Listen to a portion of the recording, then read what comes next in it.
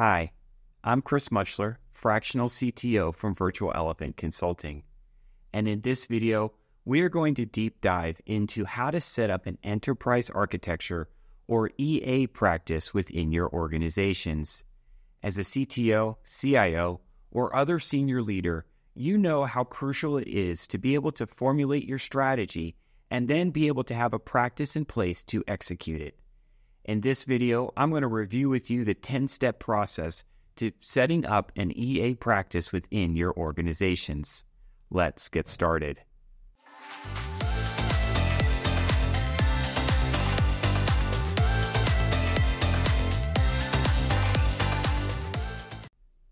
As we dive into the 10 step process for an establishing an enterprise architecture practice within your organizations, it's going to be crucial on you as a senior leader, CTO, or CIO to be able to articulate out to your stakeholders why it is going to be so crucial from a business perspective. And when we think about establishing an EA practice within our organizations, there are really three key benefits that we typically key in on. The first is the ability to improve our decision making process across our organizations, both between our IT and our engineering teams. Second, we want to be able to optimize our IT and cloud assets, and having a structured EA practice should help you accomplish just that. And then finally, we want to make sure that we are able to enhance our business agility. Again, everything comes down to being able to execute, and that's what we're going to be judged on. That's how we're going to be able to determine our ROI within our investments for all of these digital transformation initiatives that we're trying to undertake in 2024 and beyond. The first step is establishing a clear vision and purpose. As a CTO or CIO, I want to make sure that I'm establishing what my vision is and why I want to be creating an EA practice within our organizations. The reality is, the vast majority of digital transformation and cloud transformation projects that we as CTOs and CIOs undertake fail because we lack the ability to be able to establish frameworks within our organizations to be able to streamline our success. And the key thing about establishing an EA practice is that it's going to help us be able to marry the vision that we set forth within our digital transformations and bring it together with the strategic implementation of those initiatives within our organizations. And so we want to be able to establish an EA practice to be able to bring together both our engineering and our IT assets, stakeholders, and team members to be able to work towards a common goal. And that's what we want to set forth here in step one. Now, step two is making sure that we have executive sponsorship and buy in. And this is going to be so crucial because oftentimes when we do not have that executive sponsorship that we need, either from our CEO or from our board of directors, it's going to doom an initiative from the get go. And so making sure that we have that executive sponsorship is going to help our EA board and our board members that we establish within that board be able to make sure that they are working towards a common set of goals that are in alignment with all of the business strategic objectives. And this is going to help us make sure that in the long term that we are going to be successful. Again, as I've talked about before, one of the things that we need to make sure that we're doing as CTOs and CIOs is that we have a vision that's going to stretch out multiple years. And any digital transformation project really is going to take anywhere between three and five years. And you've heard me say this before. And one of the things that we want to make sure that we do from the beginning is establish this EA practice to be able to enhance our chances, to be able to enhance our ability to succeed within our digital transformation initiatives. So now that we've set a clear vision and we've gotten buy in from our stakeholders. Step three is really about defining and choosing an EA framework and methodology that we're going to adopt. Now, I personally recommend TOGAF, and while there are others out there, I have found personally that TOGAF works for the vast majority of organizations that I've worked with over the last five or six years.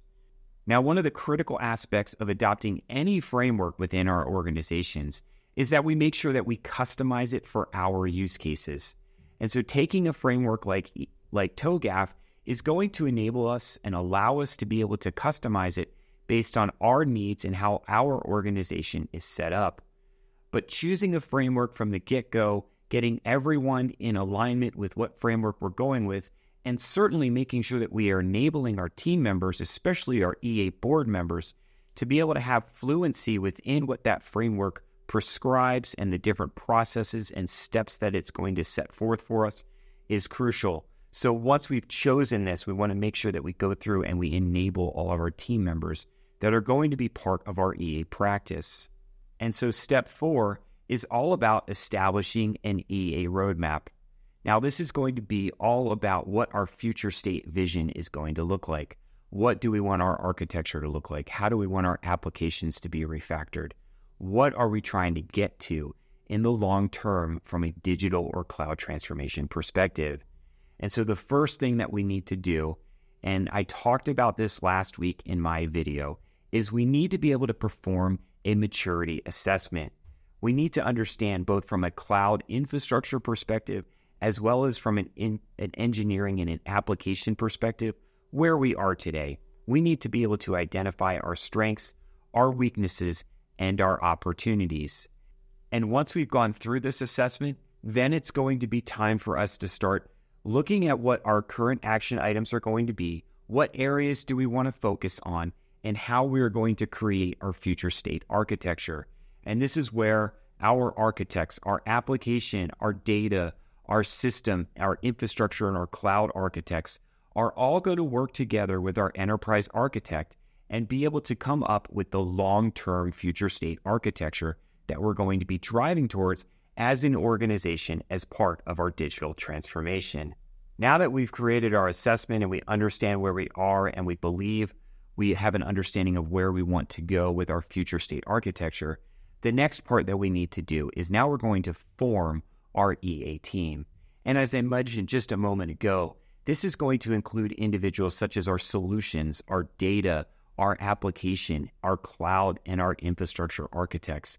And we're going to bring them all together and we're going to come up with this long term future state architecture that we want to create and each architect that is part of our EA team is going to work together within the boundaries of their subject matter expertise to be able to help us come up with a solution and a long term design that is robust, that's aligned to our business objectives, and that we've done our due diligence to gather all of our requirements, our constraints, and where we've identified our risks and figured out what we are going to do to mitigate those risks in the long term so that we can be successful within this digital transformation that we're undergoing. In our role as senior leaders, as CTOs and CIOs now is support. We need to be supporting our EA team to make sure that they have both the time and the resources that they need to be able to go out and accomplish this work to help us be able to realize and marry the vision that we've come up with with the strategic intent and the actual deliverables of a cloud and application architecture that's going to meet the needs of our business long term. Now, step six, our team has started working on the design. And so now what we need to do is we need to establish and create our EA tools and repositories that the team is going to leverage as they work on this future state architecture. And so, depending on your organization, this is where a lot of customization is going to come into play you might already have existing tools that you've leveraged in the past for backing up and for storing your artifact data as part of this EA framework that we're now going to establish. So if you already have these tools, go ahead and keep leveraging them.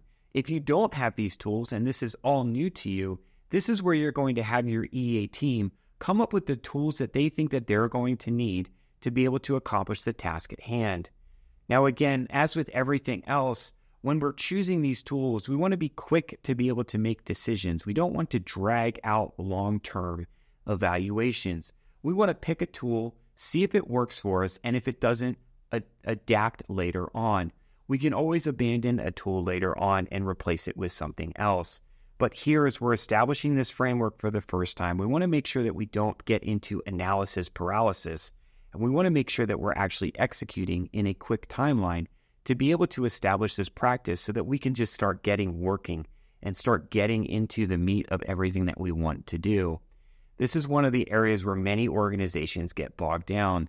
They get so hyper focused on picking the right tool, they decide and they go past the tool that is good enough for now. And that's one of the things that I've learned. We want to make sure that when we're choosing tools, we're not looking for the perfect tool. I'll be honest with you, it doesn't exist.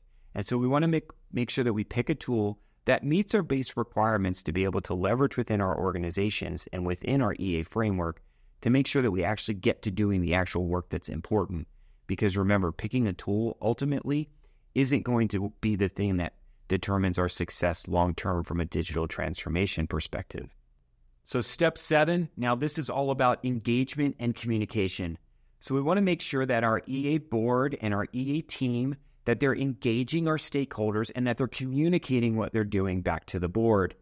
So, as the EA team is working and executing against the tasks that we've set before them as an EA board and as a CTO or CIO, we want to make sure that they're going back and they're regularly communicating back to the board what they're doing, what they've accomplished, where they're struggling, what roadblocks might they have encountered. And we want to make sure that they're regularly talking to both the board and the stakeholders to make sure that everyone stays in alignment with what we're working on.